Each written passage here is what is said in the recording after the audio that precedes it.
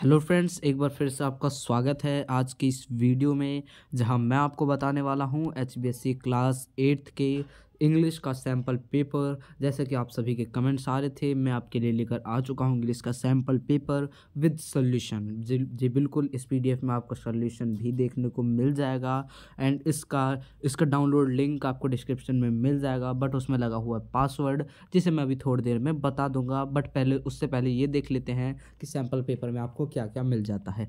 देखिए section section A है, जो कि आपका रीडिंग का ट्वेंटी मार्क्स सेक्शन बी है राइटिंग एंड ग्रामर जो कि थर्टी मार्क्स का है सेक्शन सी है लिटरेचर जो कि थर्टी मार्क्स का है, यानी कि टोटल होगा हमारा एटी मार्क्स का सैंपल पेपर रहने वाला है। ओके देखिए सेक्शन वन ए स्टार्ट होता है रीडिंग से, जो कि बीस मार्क्स का है। दस दस मार्क्स के आपको दो पैसेज यहाँ पे देखने को मिल जाएँगे। ये सब देख लिए, पहला गया एंड दूसरा ये गया, ठीक है? उसके बाद आता है आपका सेक्शन बी जो कि है आपका राइटिंग का। राइटिंग में आप देख सकते हैं, ये चार मार्क्स का है तीसरा क्वेश्चन एंड ये जो चौथा क्वेश्चन आप देख रहे हैं, ये छः मार्क्स का है। ठीक है?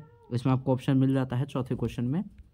ओके नेक्स्ट आप देख सकते हैं, ये आठ मार्क्स का है जो कि यहाँ पे दिया हुआ है फिफ्थ क्वेश्चन अगला देख सकते हैं। अगला है चार मार्क्स का सेवन्थ क्वेश्चन फिर अगला है आठ मार्क्स का, अगला है आठ चार मार्क्स का, ठीक है?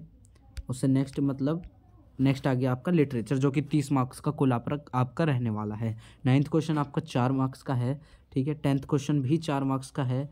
इलेवंथ क्वेश्चन एट मार्क्स का है एंड ट्वेल्थ क्वेश्चन भी एट मार्क्स का, जो कि आपके क्वेश्चन आंसर्स वाले आ जाते हैं। एंड अगला थर्टीन क्वेश्चन है, जो कि एसए टाइप वाला है छः मार्क्स का क्वेश्चन है। ऑप्शंस मिल जाते हैं आपको इसमें।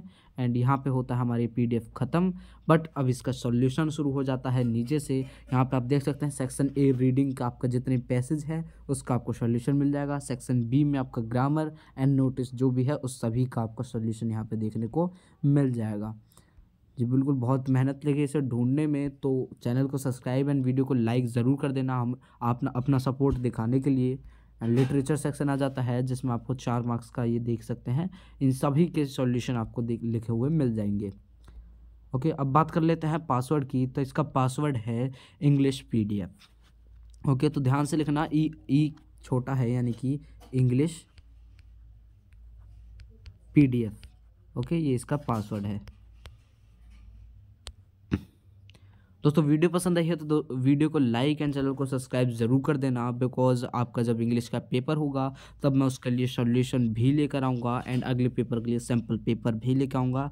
अगर अब भी आपका कोई डाउट है देन आप कमेंट कर सकते हैं, मैं इंस्टेंट रिप्लाई देने की कोशिश करूँगा। फिर मिलेंगे आपसे नेक्स्ट वीडियो में।